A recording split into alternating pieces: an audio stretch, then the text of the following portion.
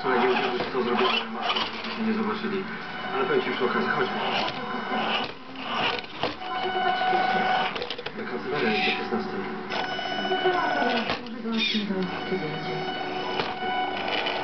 Ale potrzebujesz trochę czasu, żeby się zastanowić. Nie, tylko ja się nad niczym nie muszę zastanawiać. Ja już podjąłem decyzję. Przepisuję swoją część segmentu na dzień. Posłuchaj, ja to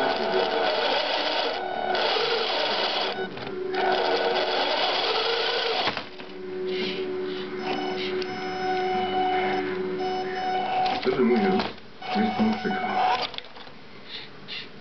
I po prostu oszukałaś. Ja teraz rozumiem, dlaczego opóźniłaś się tak z przepisywaniem mojego tekstu. Nie oszukałam cię. Przecież ja nigdy nie napisałem kryminału z.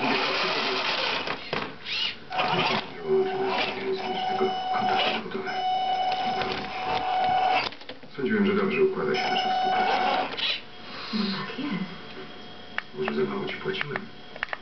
Ale wtedy trzeba było mi to po prostu powiedzieć. Eryku, Proszę cię o szczerość.